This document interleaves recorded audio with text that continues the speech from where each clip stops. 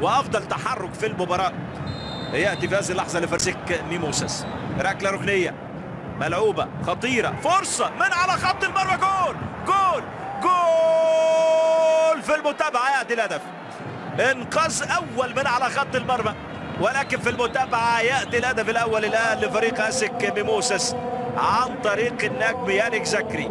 يسجل رابع أهدافه في هذه البطولة هذه الركنية الملعوبة.